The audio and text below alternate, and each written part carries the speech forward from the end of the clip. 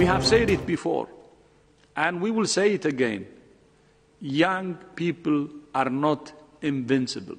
Young people can be infected. Young people can die. And young people can transmit the virus to others.